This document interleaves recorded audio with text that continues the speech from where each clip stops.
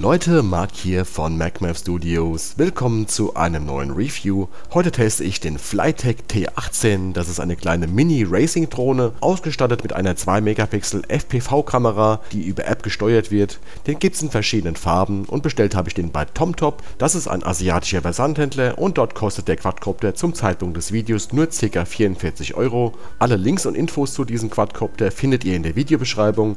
Und jetzt würde ich sagen, packen wir den T18 einfach mal aus und schauen uns den genau an. Und natürlich mache ich in der zweiten Hälfte des Videos noch einen Probeflug damit. Das hier ist die Drohne schon, hier haben wir auch schon die Anleitung, die ist komplett in englischer Sprache. Die Drohne selbst hat eine austauschbare Oberschale, das finde ich schon mal sehr cool, hier in blau und rot. Weiterhin in der Box ist noch die Fernbedienung und natürlich der Zubehörbeutel mit Ersatzrotorblättern und Ladegerät.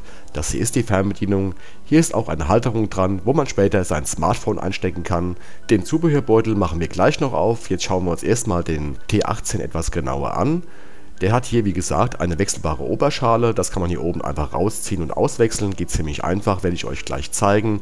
Die kleine Drohne ist hier noch gut festgezurrt, die werde ich jetzt gleich noch losschneiden und dann werfen wir einen genaueren Blick darauf. Man sieht hier sehr schön, das Ganze ist sehr minimalistisch gehalten, hier mit dieser Oberschale, die man auswechseln kann. Hier vorne ist die Kamera, also von der Optik macht das schon einen sehr guten Eindruck, das schauen wir uns gleich noch etwas genauer an. Soweit war das auch schon der ganze Packungsinhalt. Als erstes werfen wir jetzt einen Blick auf die Anleitung, die ist wie gesagt komplett in englischer Sprache, ist aber auf jeden Fall ausführlich genug, um damit abzuheben. Ganz wichtig, hinten auf der Anleitung ist der QR-Code, um die passende App herunterzuladen, mit der man dann den Flug live verfolgen kann. Hier hinten sind diese QR-Codes und die App gibt es eben für Android und für iOS.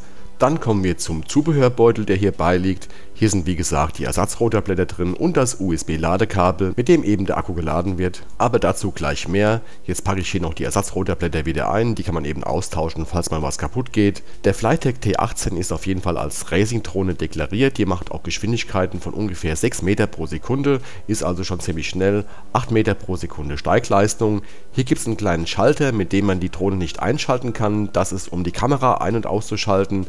Hat man die Kamera nämlich angeschaltet, sendet die ein Wi-Fi-Signal Signal aus und das geht eben auf den Akku und so kann man eben noch ein bisschen mehr Flugzeit rausholen. Um das Teil hier einzuschalten, wird einfach hier hinten der Akku angesteckt, dann ist die Funktion schon da und dann kann man das Ganze mit der Fernbedienung verbinden. Ihr seht schon, die LEDs blinken. Hier an diesem Schalter kann man wie gesagt die Kamera dann ein- und ausschalten.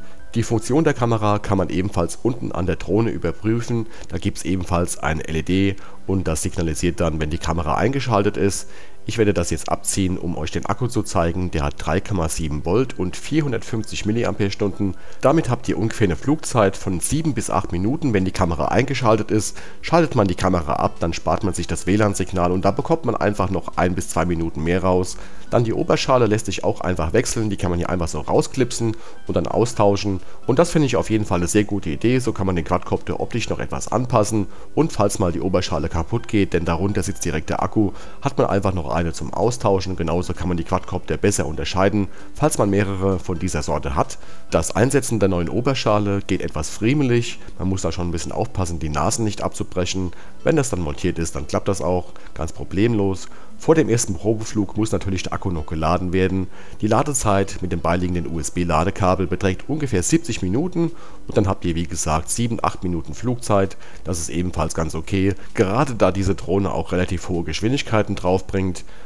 Dazu steckt man einfach den Akku an das USB-Ladekabel und das Ganze dann an einen freien USB-Port. Am Ladekabel ist auch ein LED eingebaut und wenn das erlischt, ist der Akku geladen. Ohne den Akku wiegt die kleine Drohne hier nur knapp 50 Gramm, was sehr leicht ist. Ansonsten ist hier vorne noch diese kleine FPV-Kamera, die nimmt auf in 1280 x 720 und überträgt das Bildsignal hier unten über diese Antenne via Wi-Fi auf euer Smartphone.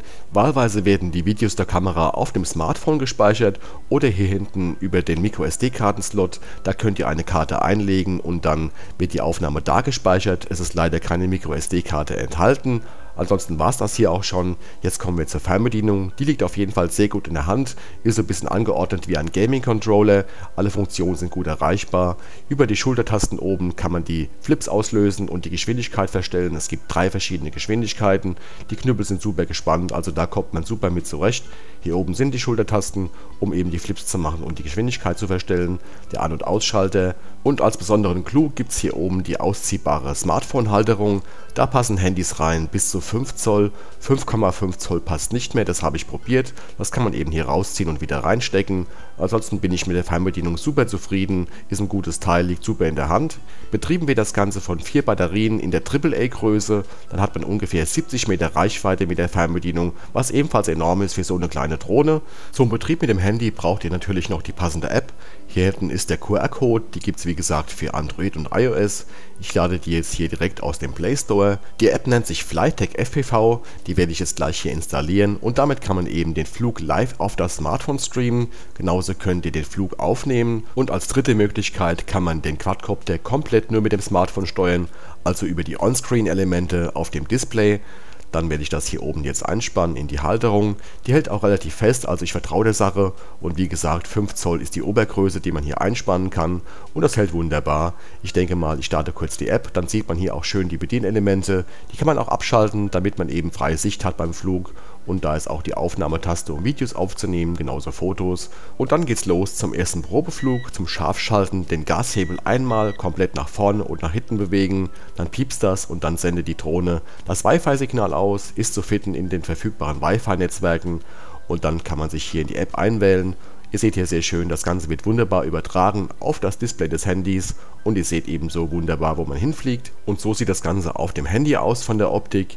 Die Übertragung des Bildes ist relativ gut für so eine kleine Drohne, macht also auf den ersten Blick einen ganz guten Eindruck. Ich habe hier schon weitaus schlechteres gesehen auf dem Smartphone, also die Onboard-Kamera ist schon okay für den Preis und dann würde ich sagen, starte ich hier noch die Kameraaufnahme und kann einfach losfliegen. Der Flytech T18 ist als Racing-Drohne deklariert. Hier in der ersten Stufe ist er auf jeden Fall ziemlich langsam, aber auch super einfach zu steuern. Der steht wunderbar ruhig in der Luft und lässt sich super millimetergenau steuern. Ich gebe mal ein bisschen Gas und fliege mal vor, also das ist immer noch Geschwindigkeitsstufe 1 und da ist er eben super einfach zu fliegen, eignet sich so auch für Interflüge. Das Flugverhalten ist in Stufe 1 auf jeden Fall sehr gutmütig, die Fernbedienung setzt das alles sehr präzise um, man kann sogar Flips machen und das funktioniert ebenfalls sehr gut, der Quadcopter hat enorm Power, das merkt man schon, allerdings in der Stufe 1 ist er ein bisschen langsam, in Geschwindigkeitsstufe 2 macht er der Bezeichnung Racing Drohne schon alle Ehre, man kann da schon davon sausen. Und das Flugverhalten ist auch hier wunderbar.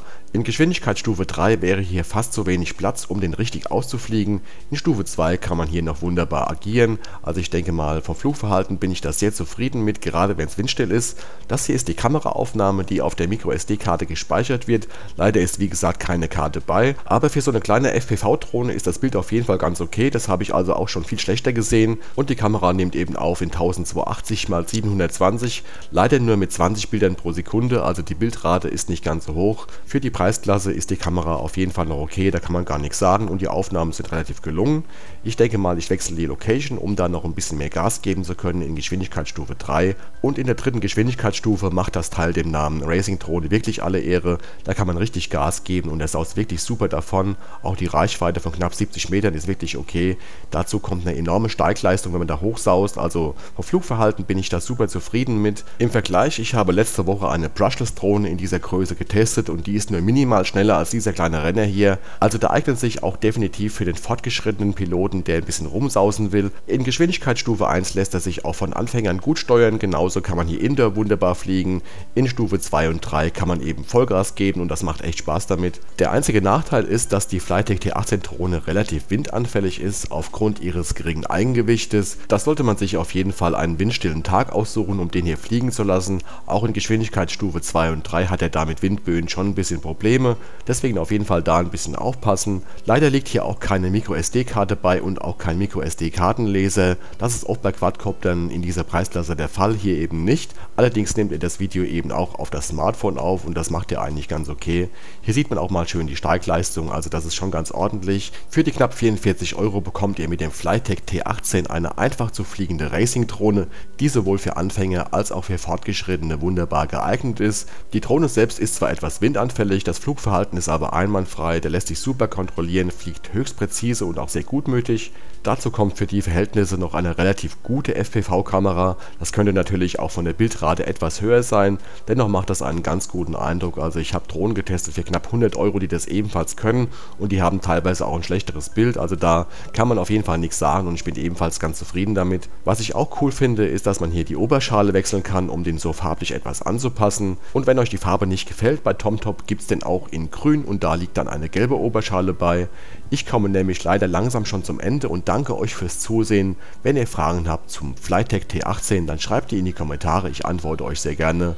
Ich würde mich freuen, wenn ihr dem Video einen Daumen nach oben gebt, wenn ihr meinen Kanal abonniert. Falls ihr das noch nicht getan habt, bis zum nächsten Mal, euer Marc von MacMath Studios. Ciao!